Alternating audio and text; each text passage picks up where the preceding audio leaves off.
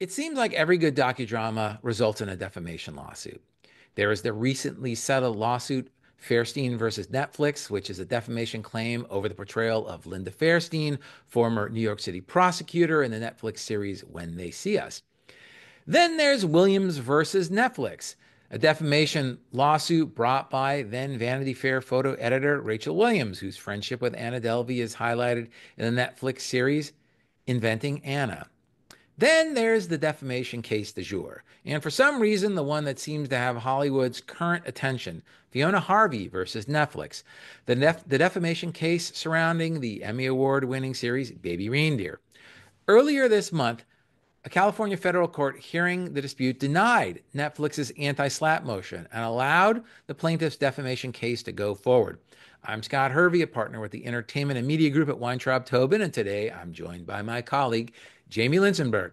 We are going to talk about this case and the lessons in the court's opinion for avoiding claims like this on today's episode of The Briefing.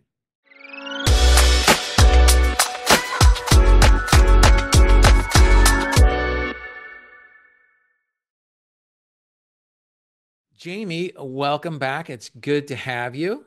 Thanks, Scott. Great to be here again.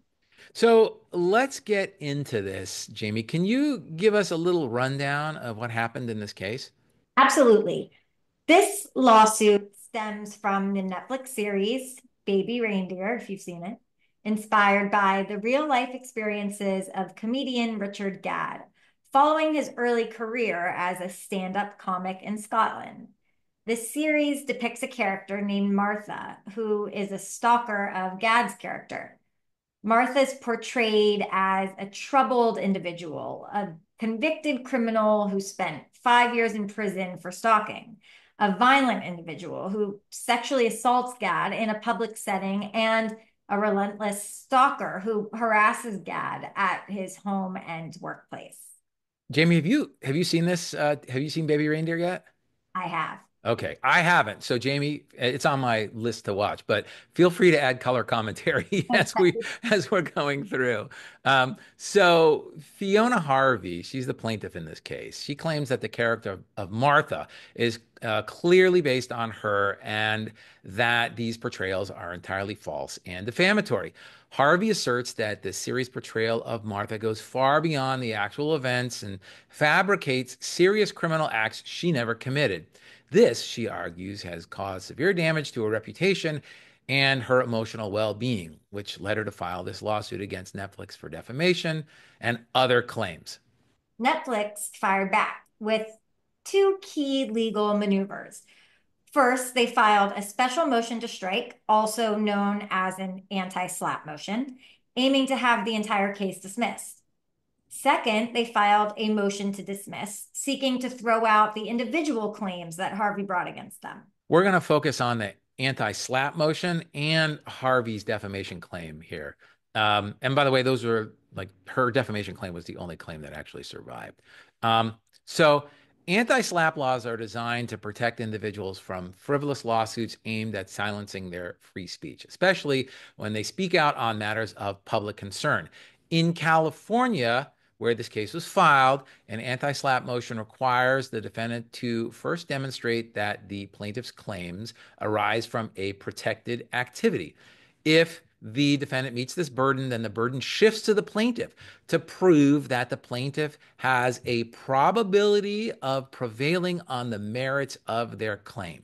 And here, Netflix was able to successfully argue that this case involved a protected activity. That's right. The, the court agreed with Netflix that the series and the statements made about Martha are protected speech under the First Amendment. The, the court reasoned that the series touches on important social issues like stalking and sexual harassment matters that are frequently debated in public forums.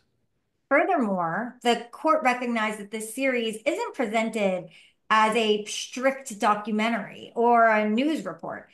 It's a fictionalized retelling of Gadd's life, taking creative license with events and characters for dramatic effect. The court even pointed to a disclaimer in the series acknowledging that certain elements had been fictionalized. That's right. However, even though Netflix was able to show that their actions fall under protected speech, The the burden then shifts to the plaintiff, and the plaintiff can still move forward if they can demonstrate a probability of prevailing on the merits of their claim. Now, this is where the court's analysis of Harvey's defamation claim becomes crucial. So let's dive into that. What were the key elements that Harvey had to prove for her defamation claim to survive? So, for a defamation claim to be successful in California, a plaintiff must generally prove that one, the defendant made a false statement of fact of and about the plaintiff. Two, the statement was published to a third party. Three, the statement caused harm uh, to the plaintiff's reputation. Uh, and four, the defendant acted with at least negligence or actual malice if the plaintiff is a public figure. So let's focus on the court's analysis regarding whether character traits attributed to the character Martha were of and about Fiona Harvey. So the court says that this is not the case where a plaintiff can be one of hundreds of people that match a fictional character's broad characteristics. Specifically, uh, Martha and the plaintiff, Fiona, Harvey are both Scottish lawyers living in London. They're both about 20 years older than Donnie Gadd. They're both accused of stalking a, a lawyer in a newspaper article. Uh, and they both communicated with Donnie and Gadd on social media. Now, while there may be numerous Scottish lawyers living in London of the same approximate age as Fiona Harvey, the court said it is very likely that only Fiona Harvey has been accused of stalking a lawyer in a newspaper article while also communicating with Gadd on social media. Netflix argued that despite these similarities, a reasonable person would not have identified Harvey as Martha because it required some degree of research to come to this conclusion. However, it seems that the court believed that it required little effort to put those pieces together. Gadd had an interview with GQ where he stated that Martha is based on a real stalker, which the court says could be seen as an invitation to locate Fiona. With Fiona's public post on Gadd's social media referencing a joke featured in the series.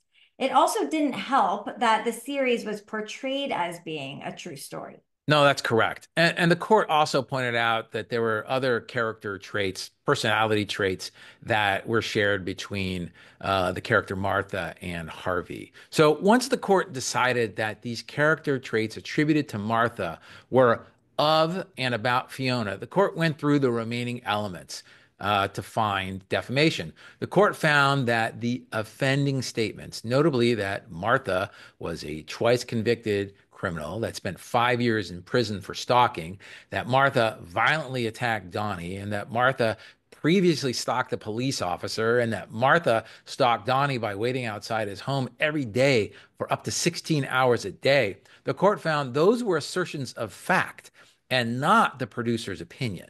The court also found that the statements were not substantially true. The court noted significant differences between the series' portrayal of Martha and the documented facts of Harvey's actions. The court also found that Fiona Harvey was not a libel proof plaintiff. Now, that's an interesting argument that was advanced by Netflix. Let's just talk about that for a little bit. Under the libel proof doctrine, a plaintiff's reputation with respect to a specific subject may be so badly tarnished that he or she cannot be further injured by allegedly false statements on that subject. Uh, but that doctrine um, that doctrine has been sparingly applied. I've actually looked into this doctrine for um, for a couple of clients, studio clients, when we were looking at potential defamation issues. And even where this doctrine has been uh, uh, applied, its application has to be limited to the same subject for which the reputation was tarnished. So, with regard to Harvey, the court said that even though her public reported stalking tarnished her reputation. It was reported and only a, uh, it was reported only a handful of times, and it was over 20 years ago. And the court said that it's difficult to imagine that such scant publicity would render her reputation so badly tarnished that she could not be defamed 20 years later. The court said further that even if plaintiff could be considered libel proof on the subject of stalking, it seems unlikely that this would apply to false statements of sexual assault and physical violence. Netflix also argued that Harvey was a public figure and that she couldn't establish actual malice. The court found that she qualified as a limited purpose public figure because of her involvement in a public controversy surrounding her stalking charges and her attempt to seek political office. If a plaintiff qualifies as a public figure, he or she must demonstrate that the defamatory statement was made with actual malice, meaning knowledge that it was false or with reckless disregard of whether it was false or not. This is a higher standard of proof than the negligence standard required for a private individual. So, this is the court's rationale for finding um, actual malice. So the court found that the statements were made with actual malice. This is this is what the court said. The series was adapted from Gadd's theater play, which stated that it was, quote, based on a true story, close quote. According to the court, this disclaimer put the put Netflix on notice that certain details were likely false. Yet, according to the a, a Sunday Times article that was introduced into evidence, apparently Netflix insisted on adding, quote, this is a true story line to the series, despite Gadd's concern. But the court found that that this suggests a reckless disregard of whether statements in the series were false and thus establishes actual malice. Now, this is as an aside. If a litigator in our audience wants to explain to me how this Sunday Times newspaper article was introduced into evidence, given that newspaper articles generally are hearsay, I would appreciate that very much. This is not a good outcome for Netflix. Um, Scott, what are the key takeaways from this case for our listeners? And really, what should the producers have done differently here? Yeah, that's a great question. So we can start with the statement that Baby Reindeer was a true story when it wasn't. Um, Gadd's play, which was the basis for this series, said that it was based on a true story. So they probably should have stuck with that. Also, there are similarities between Harvey and Martha, and the producers maybe should have paired them back. Like, could she have been an Australian or an American lawyer or maybe an accountant? But I have to say, I really think that the assertion that Baby Reindeer was a true story hurt Netflix the most. If the producers hadn't made that statement and included the disclaimer at the end, which they apparently did include, and the other traits remained the same, I think there would have been an entirely different outcome in this case. Yeah, I agree, Scott. I think that the true story piece was really the cherry on top of the plaintiff's argument. Yeah, I agree, but I still think that the the the court finding that the statements, the character attributes of Martha were of and about Fiona, I do think they were thin.